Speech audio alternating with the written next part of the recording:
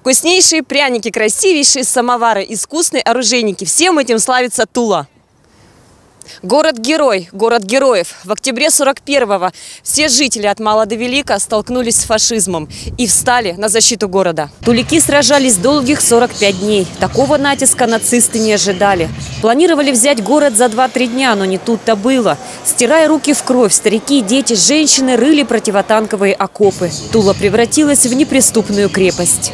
История доказывает, что как бы не хотели уничтожить Россию, кто бы не хотел это сделать, а это делается уже давным-давно, постоянно, победить Россию невозможно, потому что такого, такой силы духа, как у советского народа, теперь народа Российской Федерации, нет и не будет, наверное, нигде. Поклониться великому подвигу Тулы приехала делегация из Одинцовского округа. В рамках патриотической эстафеты «Салют Победе» в образовательных и культурных учреждениях нашего округа весь год изучали историю этого города-героя.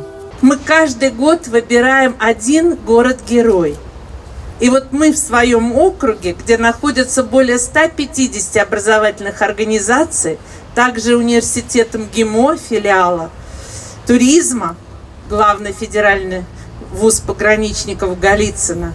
И вот мы изучаем целый год город Тулу, его героев. У Вечного огня на площади Победы участники эстафеты из Одинцовского округа вместе с представителями администрации и общественными организациями Тулы возложили цветы, почтили память павших воинов минутой молчания. После посетили места воинской славы, главной достопримечательности города. Тульский Кремль был построен в XVI веке. Во время Великой Отечественной войны он стал одним из центров подготовки защитников города.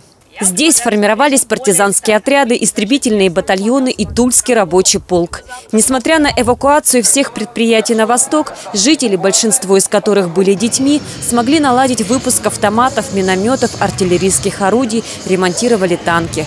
Тула осталась непокоренной. В честь этого подвига для жителей города молодежный театр «Крылья» подготовил концерт. Патриотические песни пели стоя, хором, со слезами на глазах.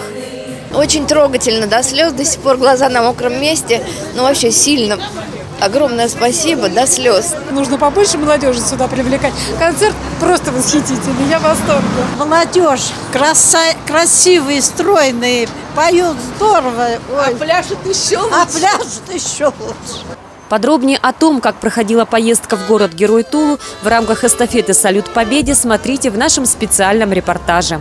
Полина Бахова, Станислав Трифонов, телекомпания «Одинцова».